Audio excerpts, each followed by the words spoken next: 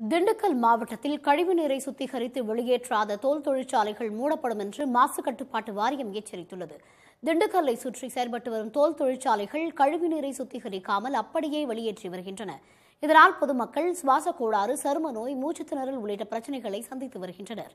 எனவே முறையாக சுத்திகரிப்பு நிலையம் அமைத்து கழிவுநீரை வெளியேற்றாத தொழிற்சாலைகளுக்கு சீல் வைக்கப்படும் என்று மாசு கட்டுப்பாட்டு வாரியம் சுற்றறிக்கை அனுப்பியிருக்கிறது. ஒரு கோடி ரூபாய்க்கு திண்டுக்கல்லில் தோல் வர்த்தகம் நடைபெற்று கொண்டிருக்கிறது.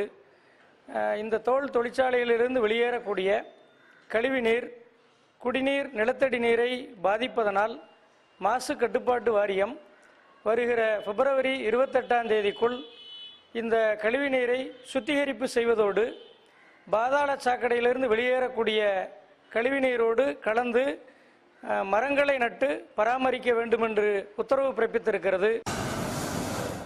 திண்டுக்கல்லை சுற்றி பொன் மந்தாரை புதுப்பட்டி சவேரியார் பாளையம் உள்ளிட்ட பதினைந்துக்கும் அதிகமான கிராமங்களில் எண்பது தோல் தொழிற்சாலைகள் செயல்பட்டு வந்தன.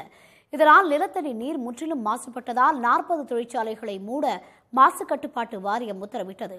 தற்போது நாற்பத்தி இரண்டு தொழிற்சாலைகள் இயங்கி வரும் நிலையில் அவற்றுக்கும் எச்சரிக்கை விடப்பட்டிருப்பது குறிப்பிடத்தக்கது.